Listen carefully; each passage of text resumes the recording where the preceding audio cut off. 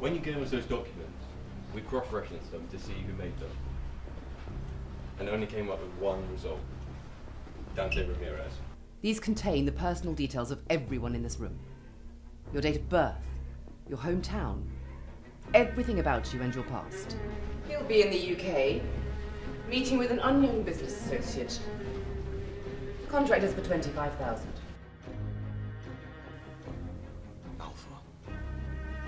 She to do with him? She's selling us out. The reason I did this is because this silly little game of espionage, well, it's dead. Or at least it will be in a few years. Everything about the old days is history. The stories about the fast cars and the interesting gadgets and the provocative women. It's just that stories. It's been taken over by cyber surveillance and new technologies drones, CCTV, the ability to access anybody's smartphone with a click of a mouse. Friends.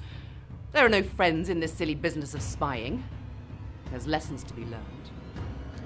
In this game of espionage. You trust no one. Would you take a bullet?